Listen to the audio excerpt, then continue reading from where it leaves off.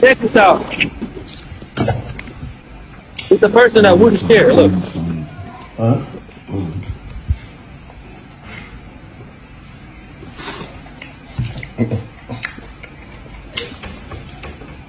Uh.